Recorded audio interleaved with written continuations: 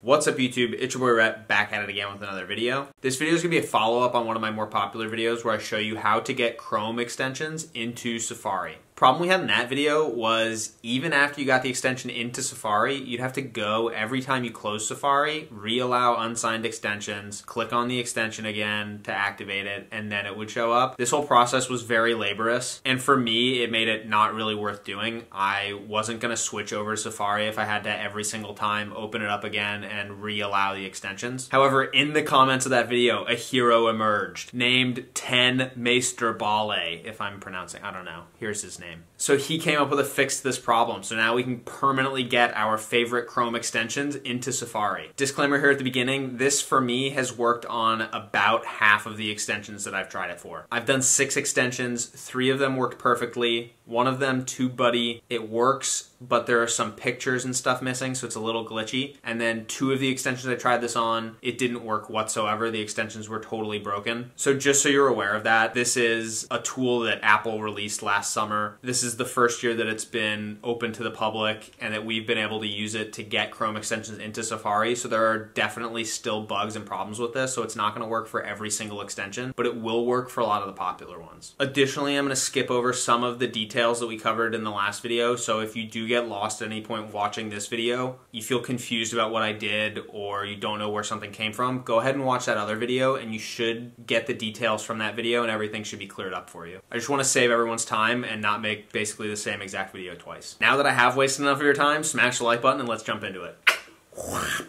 All right, so the first thing you're gonna do here is you're gonna come to the CRX extractor link, and I'll leave this in the description. You'll go start for free, and you'll put the URL of the extension that you wanna get from the Chrome store. So I'm gonna do the Notion Web Clipper. That's what sort of started my interest in all of this. And I'm gonna put this over here. You're gonna download this. You're gonna get the CRX. You're gonna then pull the file back up into here and get the source code. So once you've done that, you'll end up with this notion.zip folder.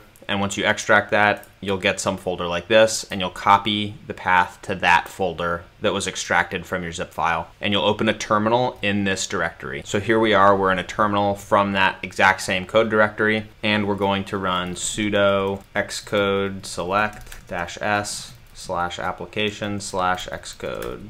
Put in your password, put in your password correctly, and there you go. If this command is giving you any errors or any problems, it could be that you just don't have Xcode installed. That was a problem that people had had in the last video. And then another question that they had in the last video was, can I uninstall Xcode once I've completed this entire process? And the answer to that is yes. So if you're worried about how much memory space on your computer Xcode is taking up, you don't have to worry about that. You can uninstall it when we're done with this whole process. So once you've run that, the next command you're gonna run is xcrun slash applications slash xcode slash contents developer user bin Safari web extensions converter. So that's the path to your Safari web extension converter tool. Again, you don't have to be an Apple developer to get access to this. This is totally free. So if you were thinking about joining the developer program just to do this, save your $100. You don't need to be part of the developer program for any of this to work. And then next you're gonna paste in the path to that folder that you extracted from your zip file. So you just hit paste there. In the description, I'm going to write path to extension here, and hopefully you'll just understand not to actually type out the words path to extension, but to paste the path to the extension folder that you extracted from your zip file. This is my path, so now I'm gonna hit enter,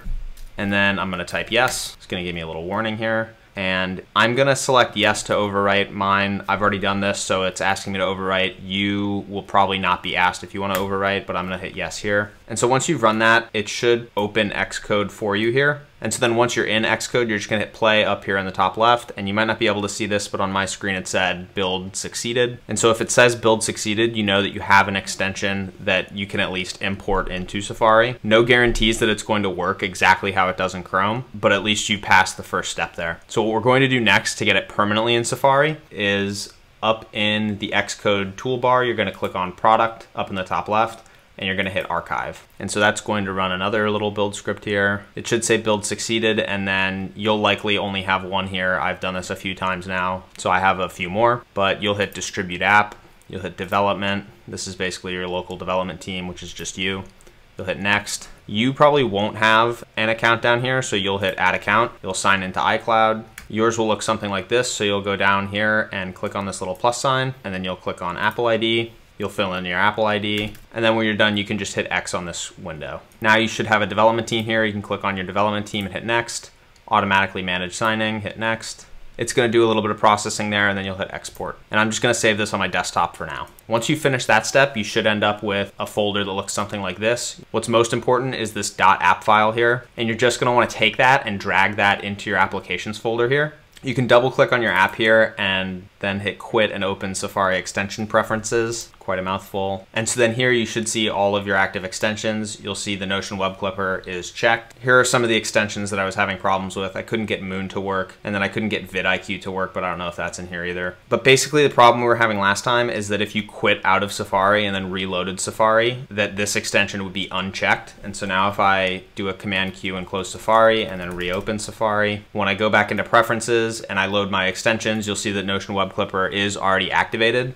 And you could actually tell automatically just by looking up at the extensions toolbar up in the top. You can see that the Notion Web Clipper icon was there the entire time. And so now if I click on this, I can save this Notion page of dogs to my Notion. And if I open Notion, you'll see that the link came over. I do use Bing because it's better than Google. And now you'll see all these pretty pictures of these dogs and this great, glorious Bing link. Smash the like button for Bing. It doesn't get enough credit for being great. So that's it. We got the Chrome extensions permanently in Safari. If you need help running that Safari web extension converter, go ahead and check out that last video. I'll link it up in the cards right here. We go over all of those details in that last video. And then let me know down in the comments, which extensions have you done this for? What are your favorite extensions? Did it work when you did it? Did it not work when you did it? There were a lot of really cool comments of really great extensions in the last video. And so if you leave yours down below, you'll also be able to see maybe if your favorite extension, if someone else did it, if it worked or not. It's gonna save people a lot of time, I think, when they can just scroll down there and check. Like the video if you learned something and subscribe for more tech, money, and success videos every Monday at 10 a.m. Eastern. I love you all.